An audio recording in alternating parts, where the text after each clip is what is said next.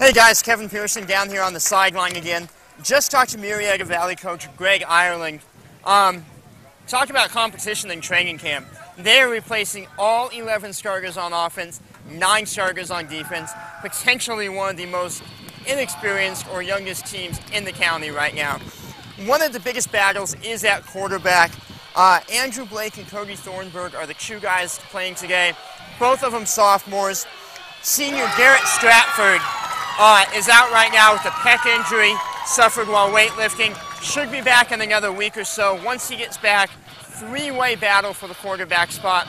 We'll see how it plays out in the coming weeks for them. Back to you guys. Down here on the sideline again. Just talked to Great Oak coach Robbie Robinson, and he is really, really pleased with the effort he's gotten from his guys today. They're 5-0 in the semifinals. Team that doesn't throw a lot during the regular season, runs more often than not, but they were in the title game of this tournament last year as well, so obviously something's clicking for them.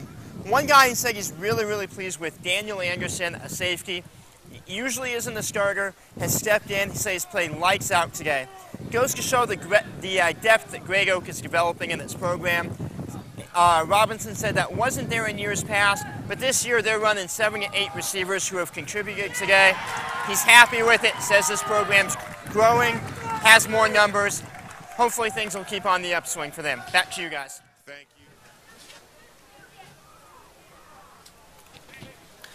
All right, guys. Uh, this uh, final matchup between Arlington and Murrieta Valley, two teams that have seen each other before in the playoffs each of the last two years. Arlington, kind of the surprise team in this final. We'll be joined in a moment by Arlington coach Pat McCarthy, uh, who's got a roster here of about 14 guys playing against Murrieta over there that just defeated uh, Paloma Valley in the other semifinal. Uh, McCarthy will be with us very shortly, and we'll be right back.